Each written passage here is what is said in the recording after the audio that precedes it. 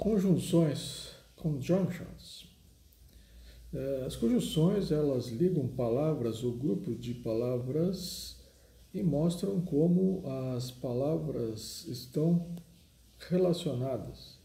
Existem é, três tipos de conjunções: as conjunções coordenadas, as conjunções correlativas e as conjunções subordinadas. Então, aqui uma pequena diferença aqui em relação ao português, né? As conjunções correlativas, né? Que isso aqui a gente não, não, não encontra essa figura no idioma português. É, conjunctions connect words or group and words and show how the words are related.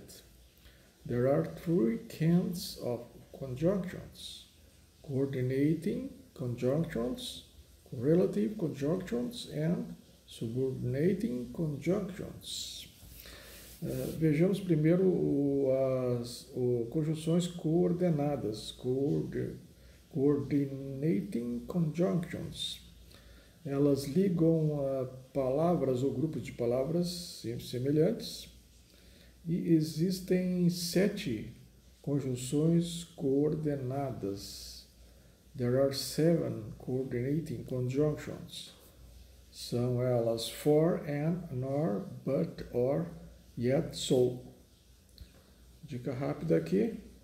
Para memorizar essas sete conjunções coordenadas, a gente usa this mnemonic uh, to help you remember the seven coordinating conjunctions. Então, use estes, uh, este mnemônico né, é, para ajudar você a lembrar as sete conjunções coordenadas. Fan, boys. É, F de for, A de and, nor, uh, N de nor, B de but, O de or, Y de yet e S de so. Então, boys, né? Tipo, nós temos as conjunções correlativas. Também ligam uh, palavras ou grupos de palavras semelhantes, mas elas uh, estão sempre, são sempre usadas em pares. Aqui estão as conjunções correlativas.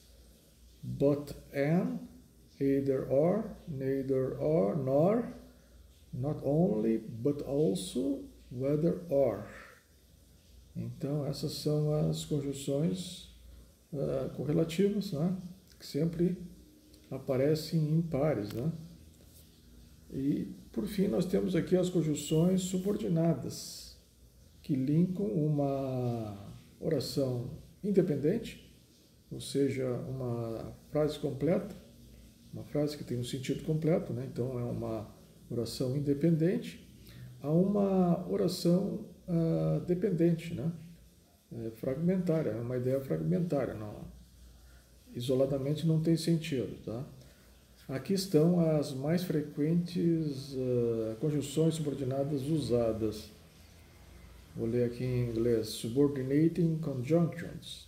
Link an independent clause complete sentence to a dependent clause fragment.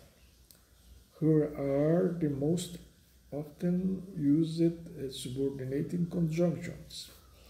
Então nós temos aqui after, as long as, before, since, unless, where, although, as soon as, even, even though, so that, until, wherever, as, as though, if, though, when, as if, because, in order that, till, whenever. Então, nesta aula aí a gente estudou as conjunções no idioma inglês, tá?